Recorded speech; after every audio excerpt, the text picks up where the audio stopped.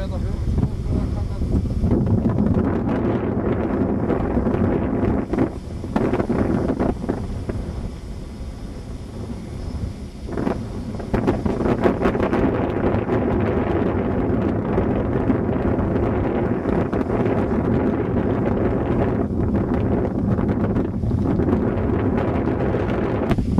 Hefur ekki að fara þetta aðeins? Hér er ég, ég hérna, halló. Hvað er þetta? Ég sé það ekki. Á, það er svo mikið sól. Hanna. Hann er ég, það er svo mikið sól. Það var nála því en ég sé það ekki. Fjör í Skálavík. Þarna eru snjóflóðin. Allt í orden með það. 28. februar 2010. Og svo eina svona.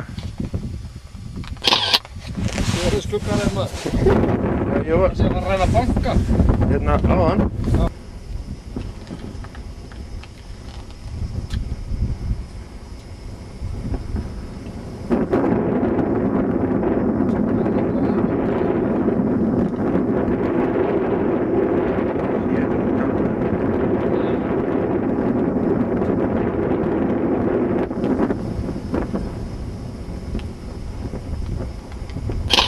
Þetta hefur verið helviti skrúpa á þessum að þetta kom.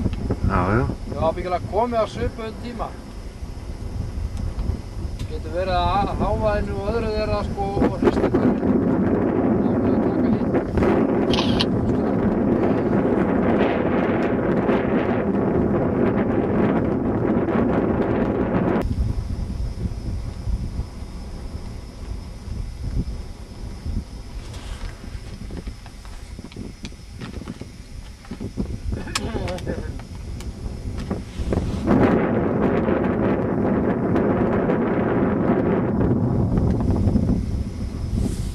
Nú þetta mér.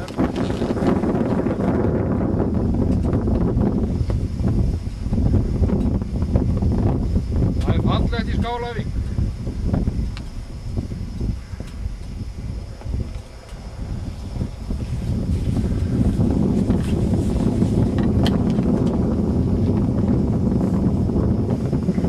Djúpt djúpt á þessu. Maður verður ekki klóðum að vera allir. Ég, veistu það, það er hérna, segja við Halldór, á morgun er akkurat 100 ár síðan að stólasnjóflöðu kom og þetta er merkilegt, þetta kemur sleði, Já, já.